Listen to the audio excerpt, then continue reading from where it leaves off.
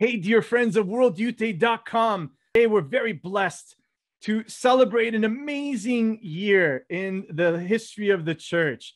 Today marks the 500th anniversary of the conversion of St. Ignatius of Loyola, the founder of the Society of Jesus, also referred to as the Jesuit order. As we continue this series on the lives of the saints, today I want to focus on this amazing saint who by far changed the course of history from the moment that he was born in the late 1400s to the moment that he rose into becoming one of the greatest saints of the Middle Ages. Today, I'm blessed to have with me one of my good friends that I met at World Youth Day in Panama. Father Christian Saenz is uh, the professor of theology at St. Vincent de Paul uh, Seminary in Boynton Beach. Father Christian, thank you so much for joining me. And uh, what a pleasure to be able to have this time with you to talk about one of your favorite saints, right? St. Ignatius. Indeed, yeah. St. Ignatius is the founder of the Society of Jesus, the order to which I belong to. And uh, we're coming up on a really uh, significant and important date that's uh, going to be on the 20th, the, today to 20th, is the conversion of St. Ignatius of Loyola. It's kind of interesting. Tell us a little bit about that.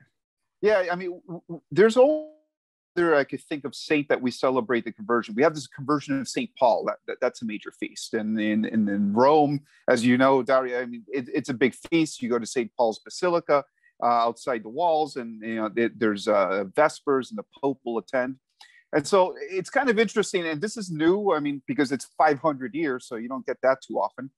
And uh, we kind of called it this, the conversion of Saint Ignatius, and we're going to celebrate this feast day in the Society of Jesus in a very solemn way the whole year is marked off for this occasion, uh, where we recall that 500 years ago, a soldier, a, a young soldier, a Spanish soldier, who was fighting in Navarra outside of Pamplona against the French, was shot in the leg.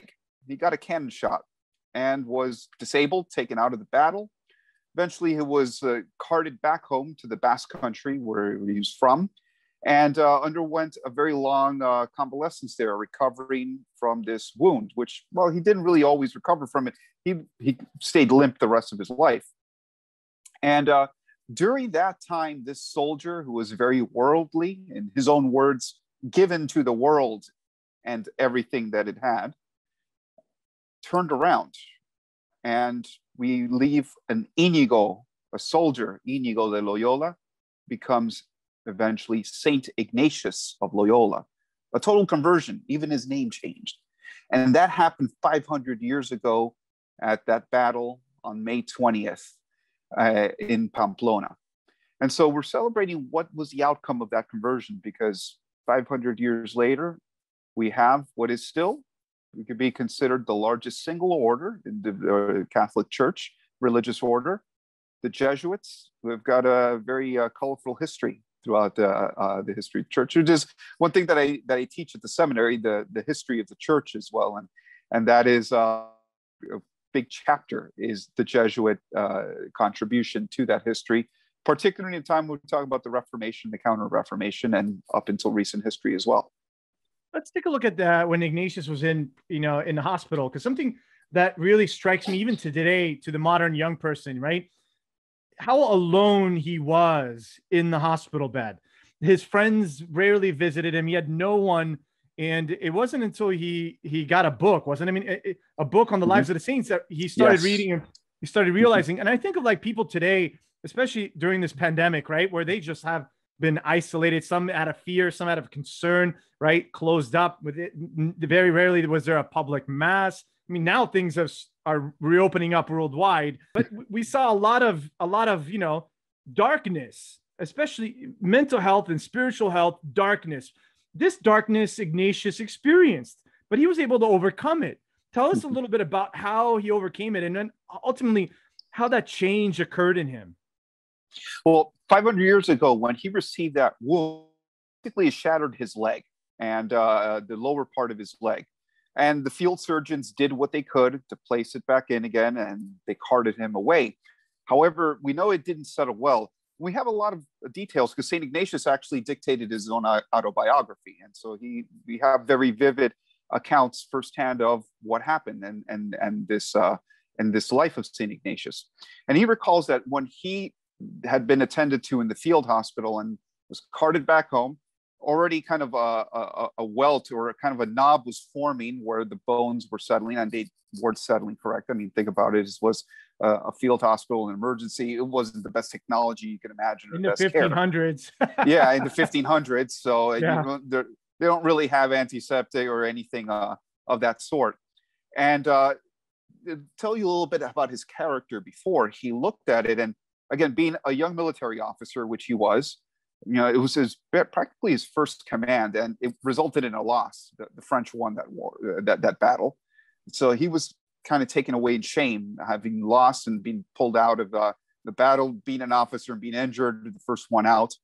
Uh, looking at himself and seeing that knob on his leg, he said, I will never be able to use my riding boots again. How am I supposed to be an officer or, or, or a knight without the proper uniform?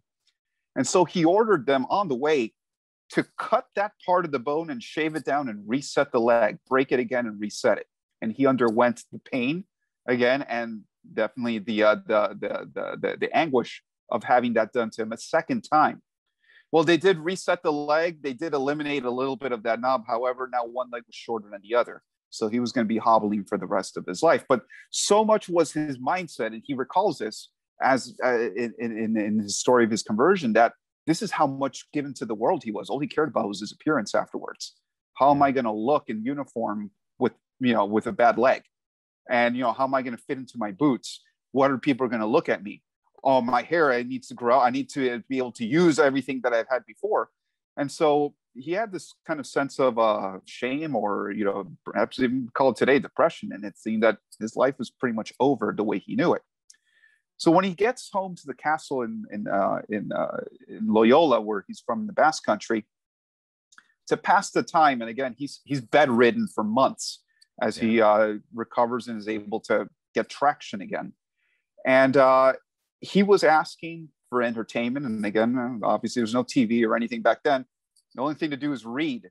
And so, well, what he wanted to read, kind of what he read when I was when he was younger, or the tales that would inspire him to get back up and recover. And so he wanted knights' tales. Give me anything that had to do with knights, that dealt with war, that dealt with heroics. Yeah, I, need to liven my spirits. The best thing they could find for him was the life of Christ, or the Anima Christi in there. The, so the best they could do was find the imitation of Christ for him and that definitely is no Knight's Tale. And so, seeing that he had nothing else to read, he started reading that A Life of Christ, The Imitation of Christ. And he started to take it in and actually take it in seriously. So much that when he finished reading through it, he read it again and, and he started asking people, What else is there to read? Give me something else. Well, we got the lives of the saints here. Give me that. And he started reading the lives of the saints as if they were knights themselves. And he started seeing them that way these are the knights of Christ. This is the militia, uh, militia Christi. I want to be part of this. I can do this.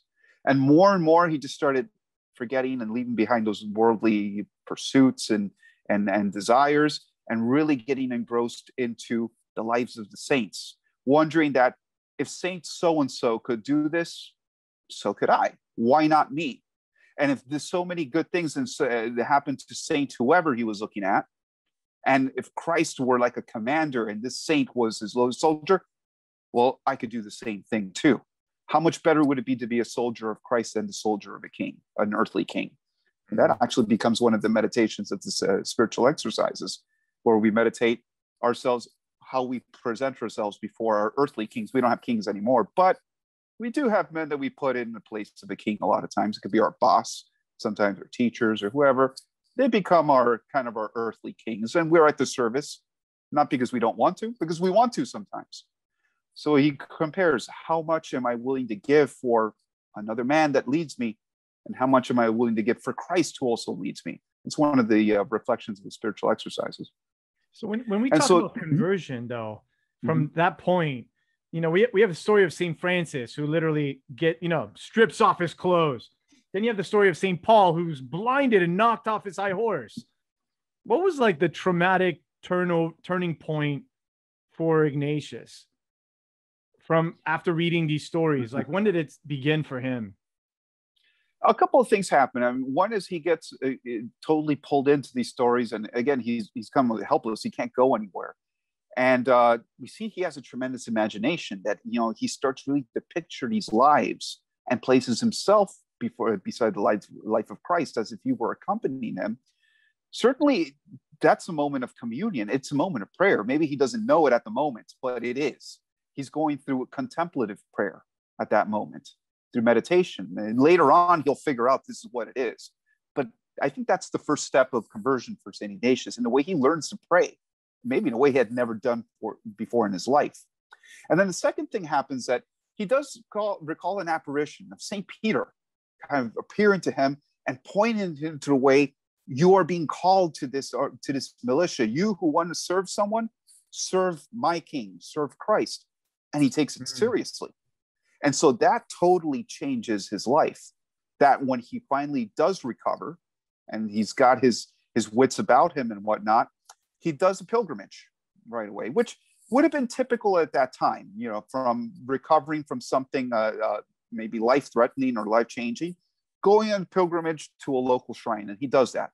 He goes to Arantzazu, which is just north of where he is, up in a beautiful mountain. and it's quite a walk to get up there. I've been there once uh, to visit the image of the Virgin that's there. And in that pilgrimage, again, even more, he's confirmed he's got to take a different path of life. Now, he's still pretty young, especially by our standards. He's still pretty young. So he's still deciding his life. And so he decides there he's going to leave a life for Christ. He's got to do something. He's, he, he's going to go on another pilgrimage.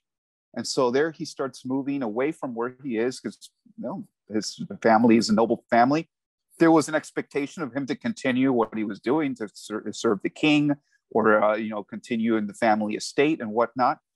And he felt totally called to live the life of the saints that he had read in poverty uh, in begging alms uh, in asking for alms in simplicity and in and this spiritual reflection that it kind of sounds like the hermits or the desert fathers that retreat from where they were and to go find solitude and find god there.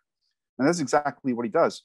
He comes back home packs up his bags, leaves basically all his wealth there.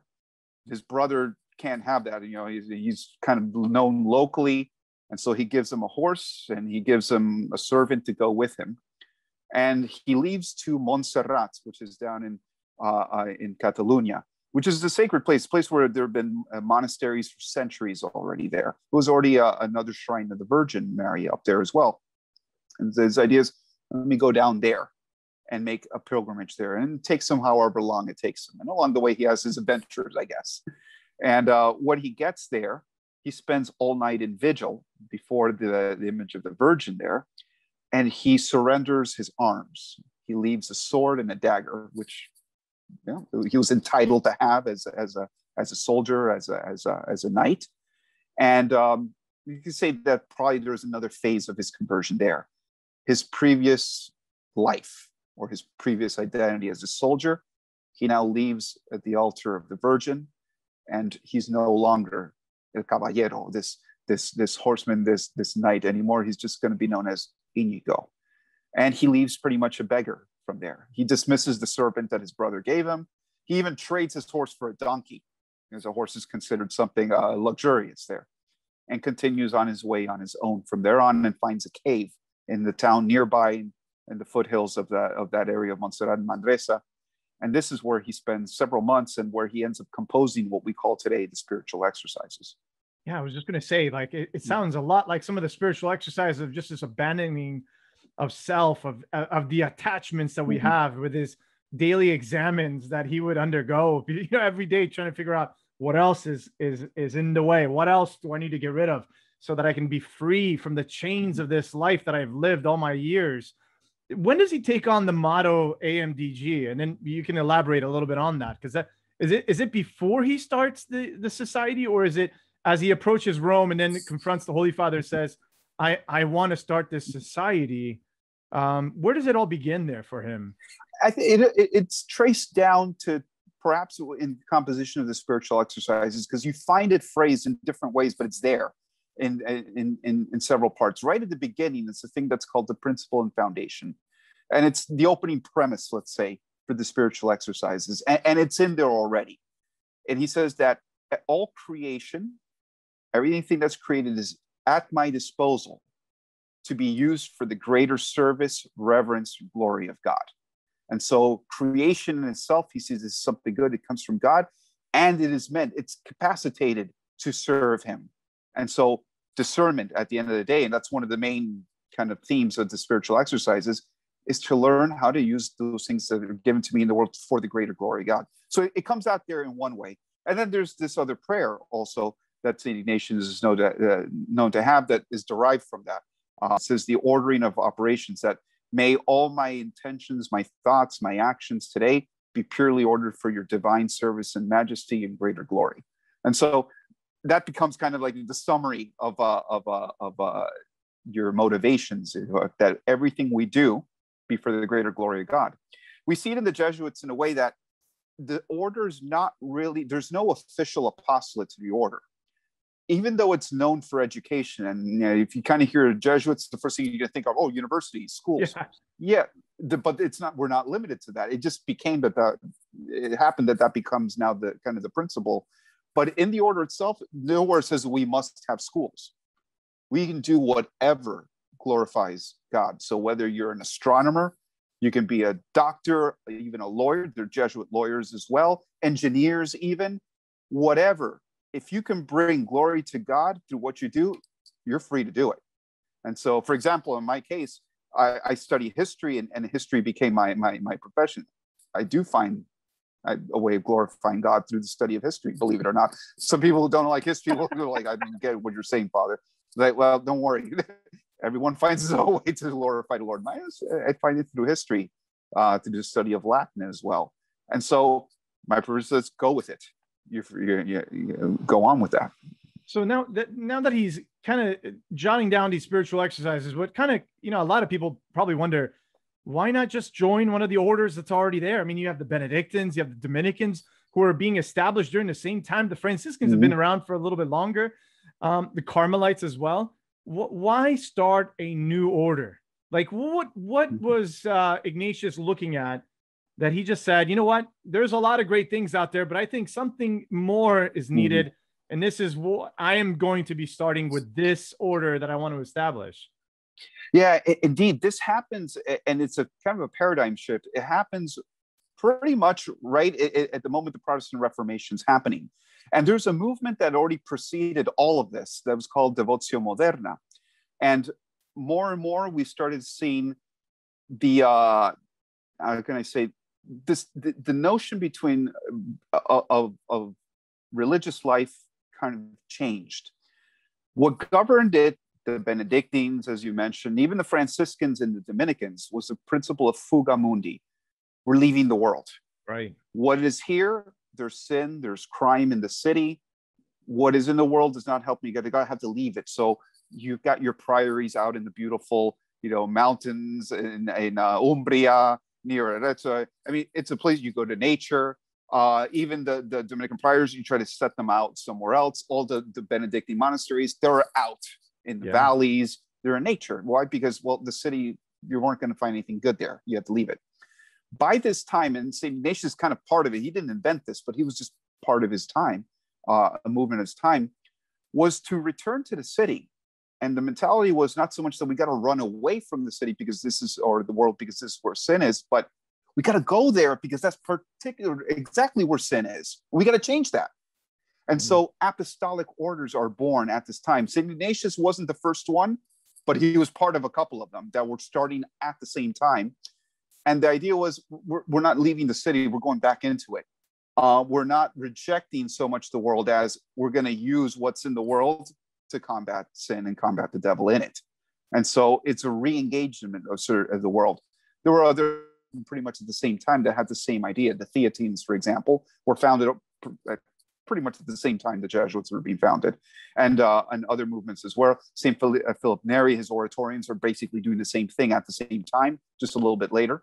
And so there's this movement again now, not fugamundi, but engage the world, and you know, taking that that that part of the gospel, light the world on fire, yeah, literally do it, go back and re-engage. I, I love also the fact that the Jesuits, you know, when, when Ignatius is starting this idea, is that he doesn't decide to, you know, abandon the idea of also the close of the world. I mean, he literally the what I'm wearing is how I'm going Mhm. to reach out to you and connect with you. I'm not going to wear something different to make me stand out because I don't want to stand out. I want to be with you, to walk with you. It almost seems like a, a, a Pauline motivation. I find that very, very successful for the sake of Ignatius, especially because he's dealing with a very heavy period of time. I mean, you mentioned the Reformation. Tell me a little bit more on that, because I mean, ideally, he, he has this idea of no more fugamundi, which is definitely understandable, because now we have to head on. He he, I like his approach. I mean, he's the military tactic guy, right? Mhm. We're not going to wait for the war to come to us. We're going to go and defend, right? Mhm. And and we're going to go head on and meet whoever it is that we need to meet, and we're not going to do it with with a fiery, you know, passion of you know violence and vengeance, but with charity and truth, you know, with caritas and veritas, which I, I love also two great, you know, virtues of the Society of Jesus. Tell me a little bit about that motion, like as he starts this order as uh, the focal point of what's going on, uh, uh, obviously as a counter Reformation, but what's going on during the time of the Reformation that moves them even more. Yeah, uh, one thing I, I, I always point out to students is that the Reformation essentially was an academic movement. Think about it. Martin Luther posts his Yeah. thesis basically in a college town. He's a college professor. A lot of the uh, the uh, the reformers you hear about were all university uh, lectures. So this is essentially a university movement. What happened? And so one thing that that, that kind of strikes me um, in in the front of the the Gregorian University, the first the original building, and I think it's- it has it in the, in the new building now. There's written, you know, to the good to the sciences and arts, or what we call arts and sciences today, you know, in Sure. uh, in college. And so what what was kind of revolutionary is like let's use all of science and art that we have. And art at that time was a little bit just you know more than than what we know today. We're going to use these at the service of evangelization all of them. We're not going to exclude anything. So whether it be astronomy mathematics rhetoric poetry painting even sculpture all of this we're going to employ as our arsenal for uh, for this counter reformation that that ends up happening and so you see this explosion of art, even of uh, academic, intellectual activity that is kind of fighting fire with fire. If this was coming from an uh, intellectual uh, uh, uh, environment, we're going to fire back exactly with that, with arts and sciences. This is the, the language of it. And so that becomes, uh, we can say, those tools that you have in creation in the world, how to best use them. Okay, we're not going to direct it towards this end. And so um, Jesuit universities and schools started jumping up, uh, appearing all over the place, just because, again, he said this seems to be the best means to do it. Um, you mentioned, yeah, that Jesuits, we, we don't actually have any distinctive uh, uh, habits. Um, the, Consti- the Constitution Order just kind of says we wear whatever the respectable clergy of the area wears. And so if it's this shirt wear that shirt. If it's a cassock, wear the cassock. If it's a white cassock, you wear a white cassock we don't have a standard one. In fact, you know, I've seen pictures of Jesuits are they're different types. Uh, in the East, uh, where Eastern Christians are, they've got uh, kind of the Byzantine or the Greek Catholic. They wear the Byzantine Greek Catholic. One of the the um, the most notable ones was uh, uh, Matteo Ricci, was a Jesuit uh, missionary into China, and he's always pictured wearing Chinese imperial robes. And again, as a Mhm. professor, as he was teaching, and there he couldn't dress as a foreigner because they wouldn't respect them there. And so he adopted the uh, of uh, of what the people that did that job in, in China did. Another interesting one was uh, St. Francis Xavier, and, and you kind of work it out as as as as you go. And St. Francis Xavier again had gone to Japan, wearing basically the the, the the the the clothes of a beggar, as he had done already through Spain and, and, and part of India. However, he saw he wasn't well received, and nobody would pay attention. They said no one's going to pay attention to a beggar. So he had to do a little wardrobe change. Then he went in and got the fine silk and came in dressed as a.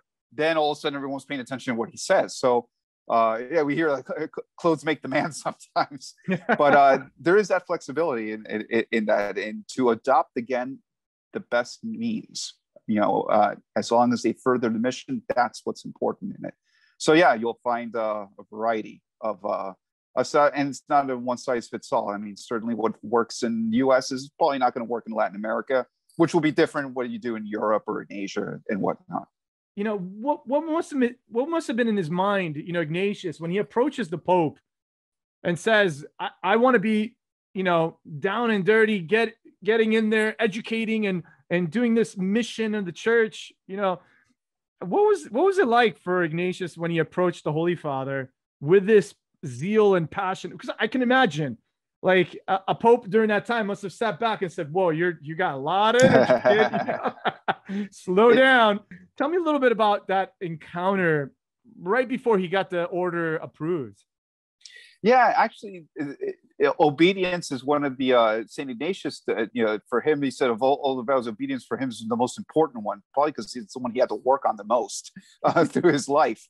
Uh, a couple of times, it shows up in his uh, uh, in his his life, where um, yeah, he comes in with one plan, but the, the Lord has another plan, and he expresses it through the church and and and and her bishops and even the Pope and so the first one perhaps was uh, just a little after he had undergone his conversion. Uh, he and this was kind of the custom at the time again with this whole de- uh, uh, uh new modern devotion and life uh, kind of preaching and individual itinerant preaching came into into style and so it was not uncommon that you'd find in city squares or or places a preacher you know and he wasn't necessarily preaching something bad, but you know, he was just basically preaching his personal experience out there and giving spiritual advice as well. They weren't priests yet; they weren't even religious. They were just you know, kind of these just very uh, uh, religious uh, public speakers, if you will.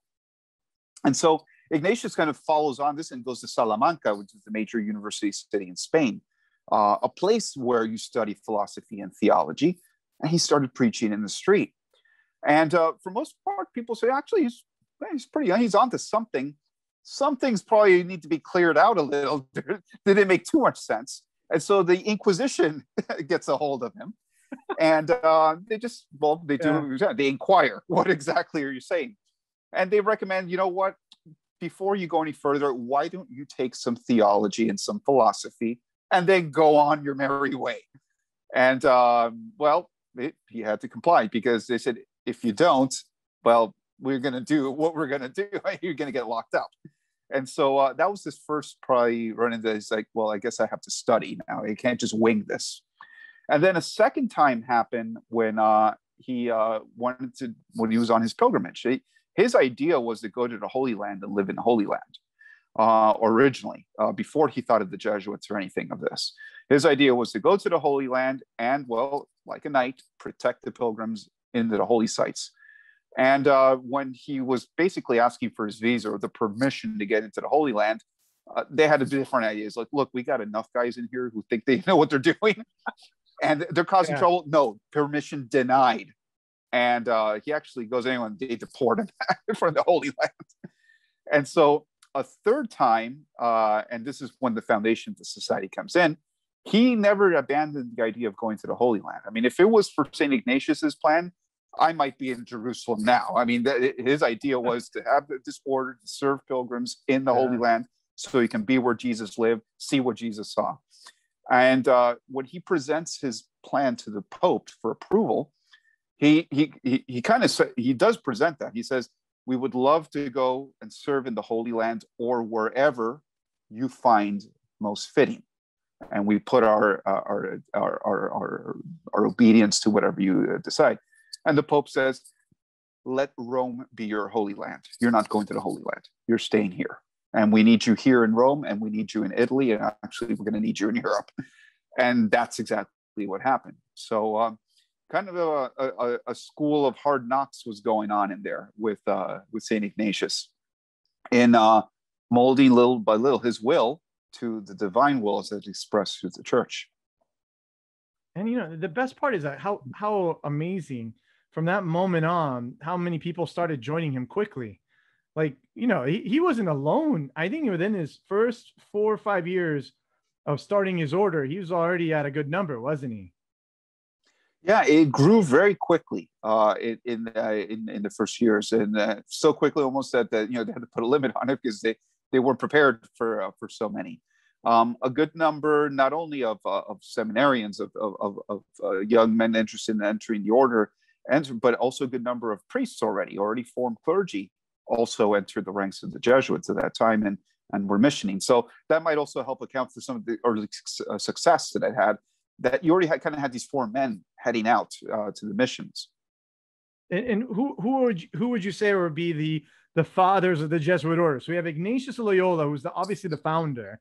You already mentioned Francis Xavier, who basically became his collaborator, right? Uh, mm-hmm. Actually, he was in charge of the missions, wasn't he?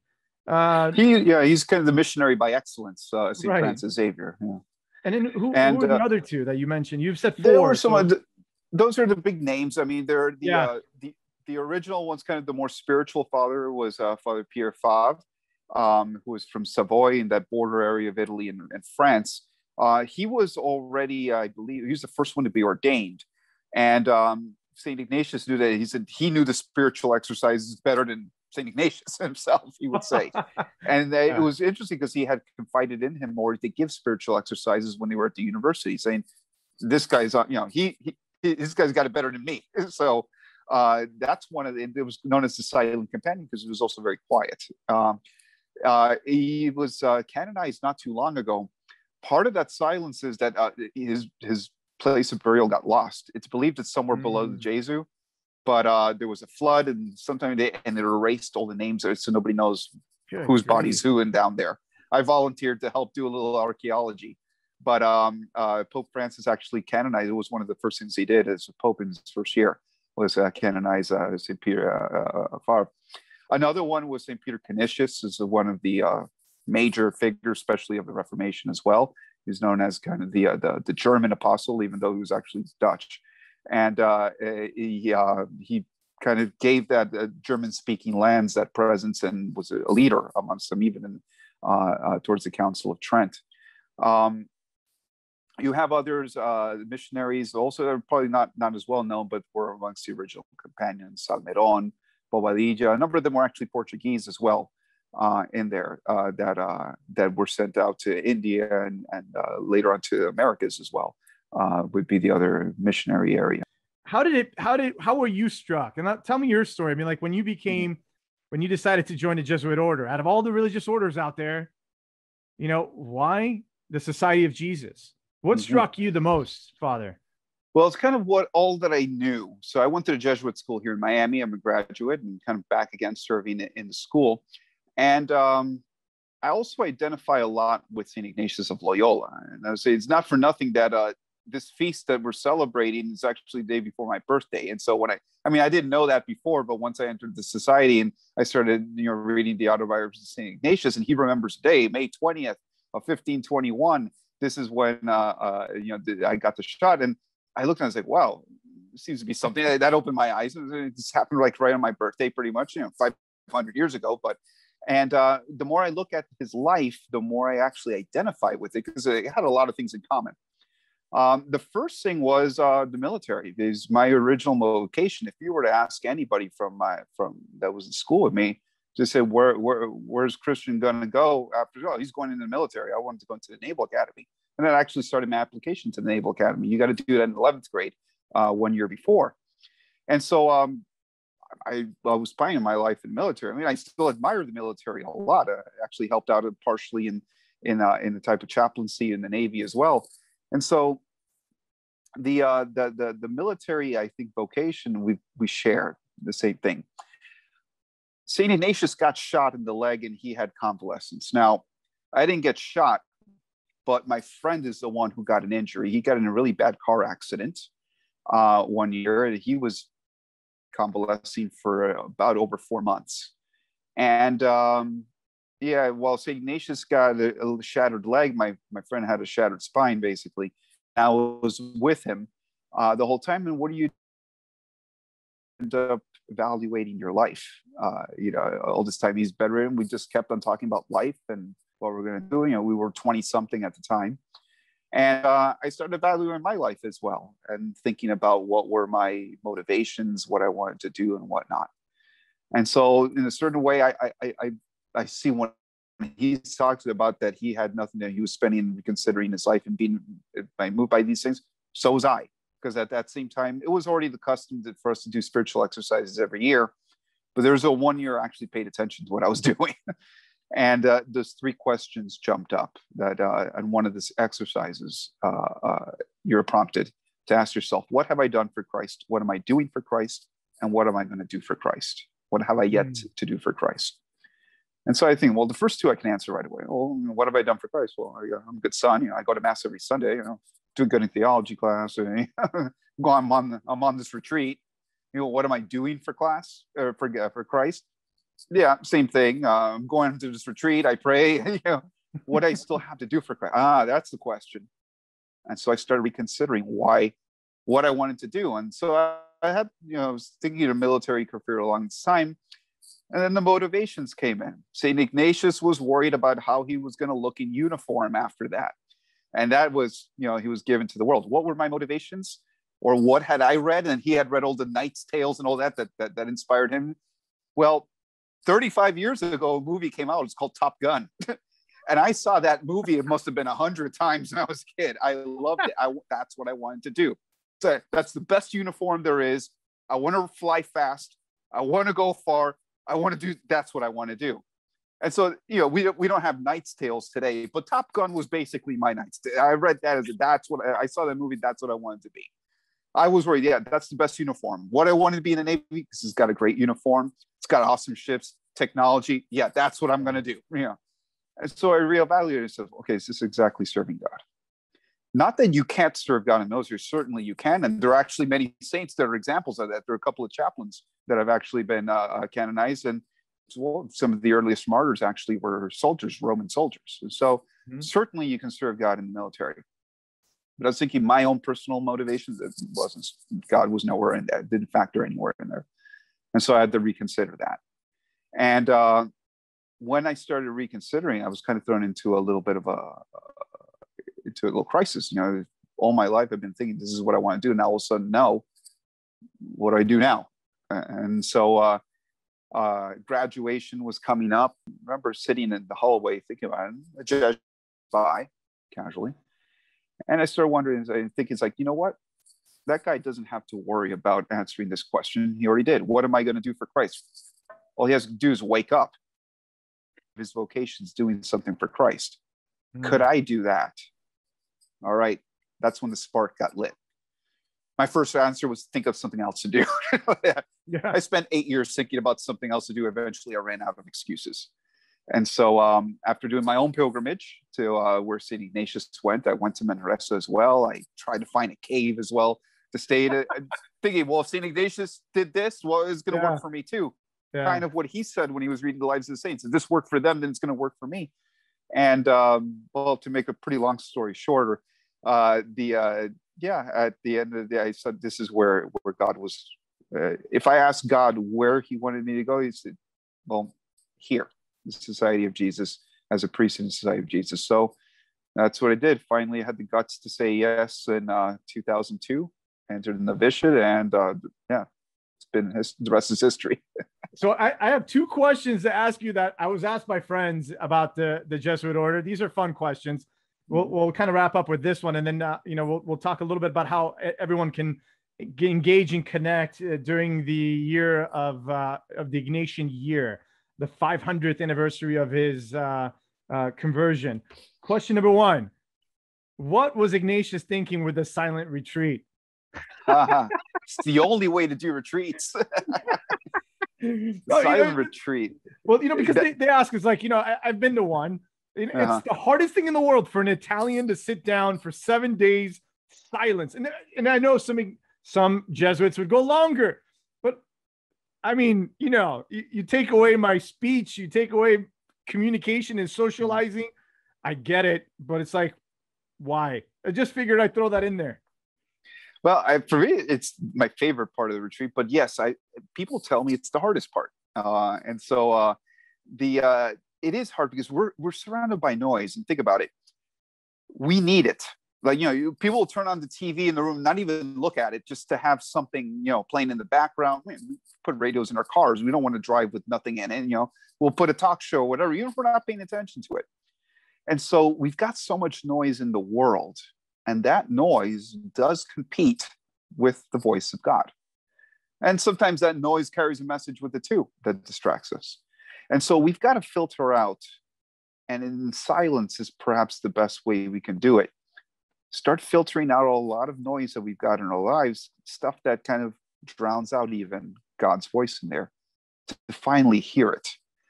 Um, because once we finally hear God's voice, then we're going to recognize it in all the noise that's out there. And there's plenty of noise.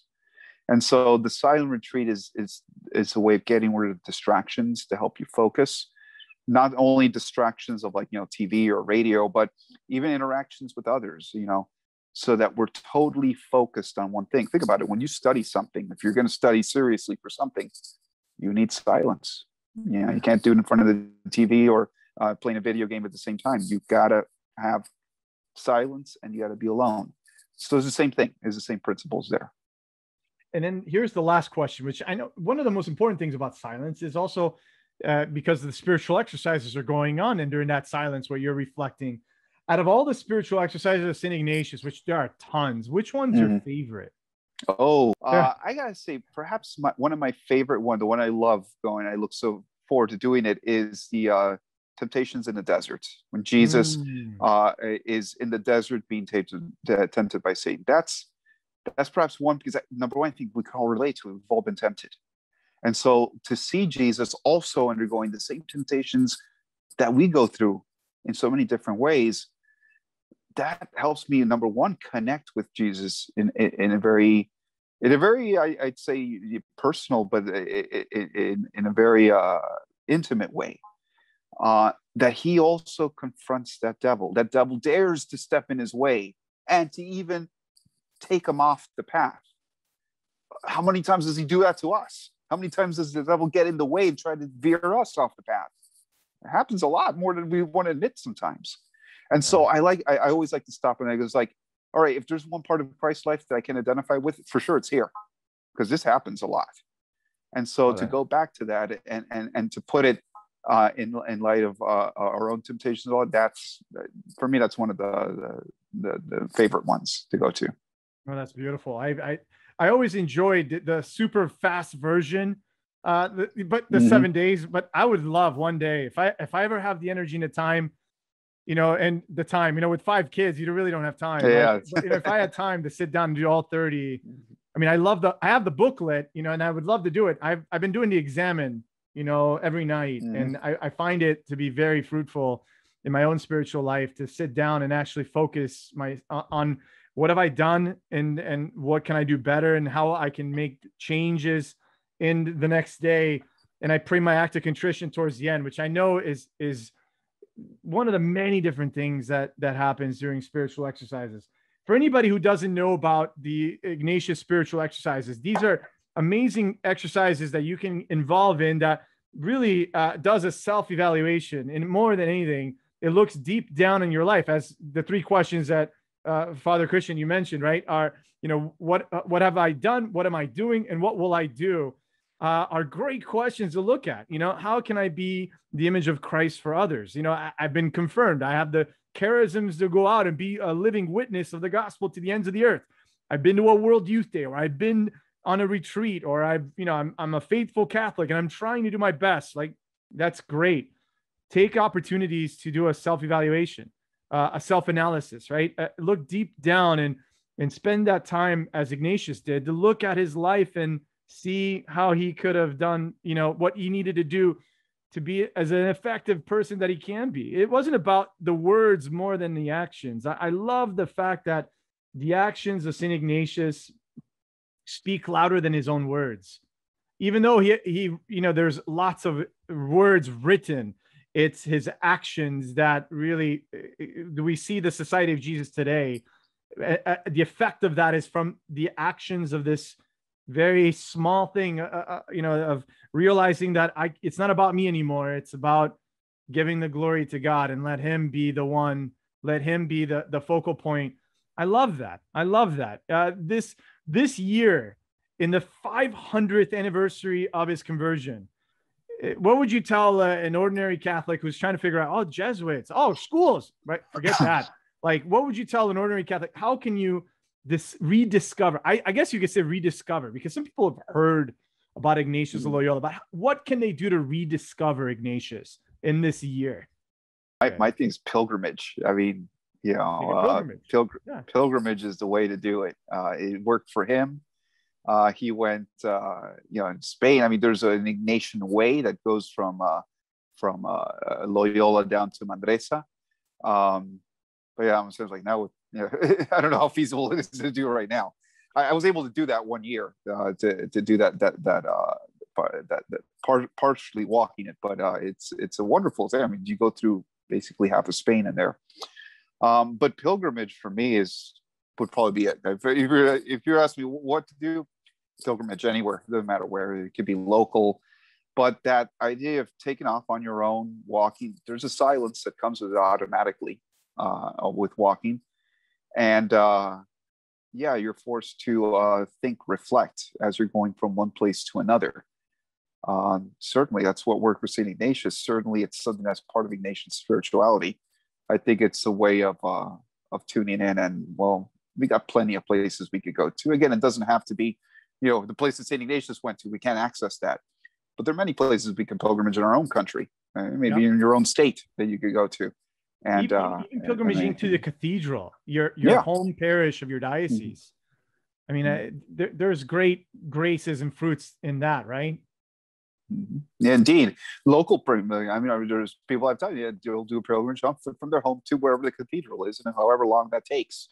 And uh, yeah, they'll make a day out of it. And, yeah, you'd be surprised how far you can get on foot when you actually put yourself to it. Well, mm-hmm. Father Christian, that that is awesome because I, I love the idea of pilgrimaging. I mean, the whole point of mm-hmm. what World Youth Day is is the pilgrimage, and that's hopefully the focal point that people will take in in light of what's happening in the world now that things are slowly reopening take a pilgrimage.